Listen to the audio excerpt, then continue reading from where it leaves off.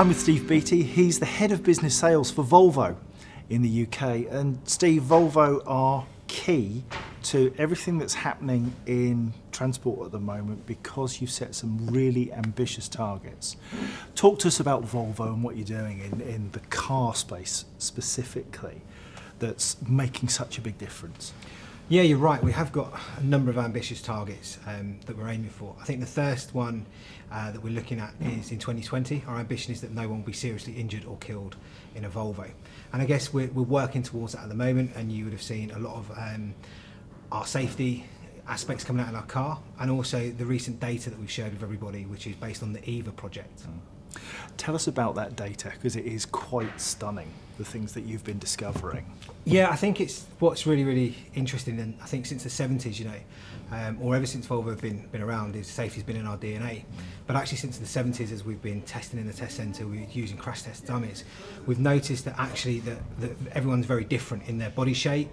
Um, you know, a woman is very different to a man, you know, a pregnant woman or a teenager or a child. And actually, the data that we've gathered is showing that, it, that crashes and impacts can affect everybody.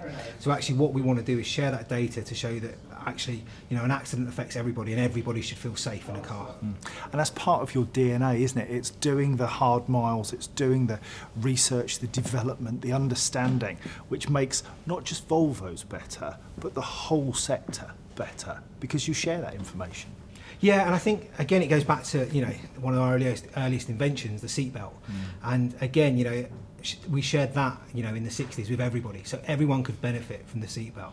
And I think there's an estimation that over a million lives have been saved with yeah, that. That's quite incredible, and I, I have to be honest, I wasn't aware of that number of, of fatalities and injuries that have been been avoided as a result of the great work that Volvo have done. Now, you've kindly come along to Greenfleet today to a round table where we've sat with some business people, some strategy people, and you as the representative of the automotive sector, what will be your key message that you take away from today? I think uh, it's been a thoroughly enjoyable day. I think I've learned a lot actually.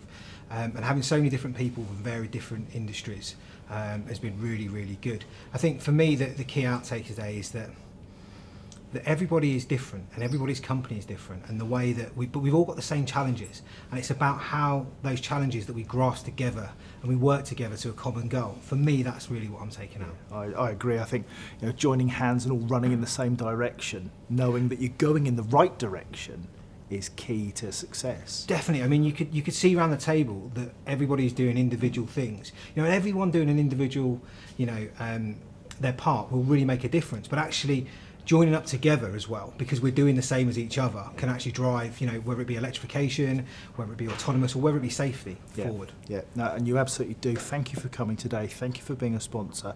And thank you just for being a great guy.